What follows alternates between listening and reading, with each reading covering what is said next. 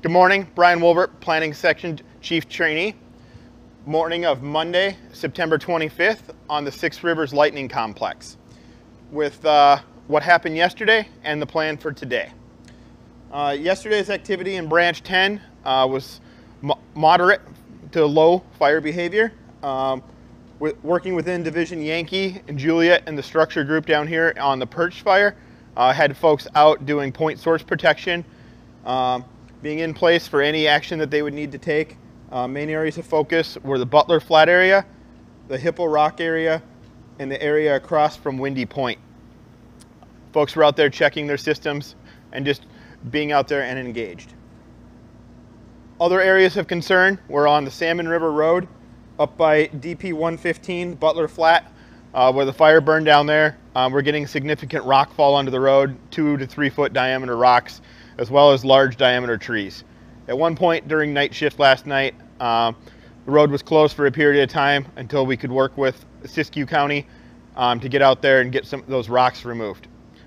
We'll continue to work with Siskiyou County to keep the Salmon River Road open. There may be minor delays as we go over onto Highway 96, uh, similar situation. We're getting rockfall onto Highway 96, um, working with Caltrans to keep the road bladed off. They'll be out working shifts uh, 20, 24 hours a day, keeping the Highway 96 open. We did get into uh, Rocking Chair Road. Uh, had an excavator in there to put uh, break some berms and put a couple water bars in in advancement of uh, today's pending rain.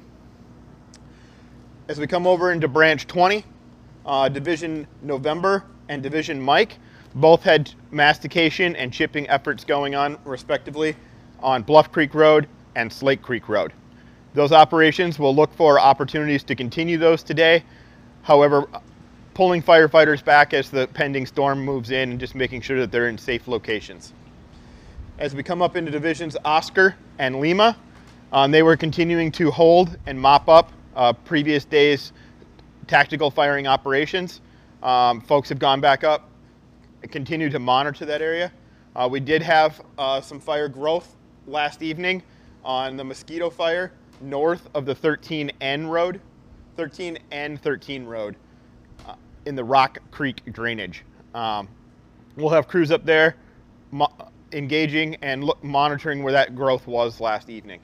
And as today comes, again, firefighters looking for opportunities to engage and then pulling back as the weather comes in just due to high winds and overhead hazards with falling rocks and trees.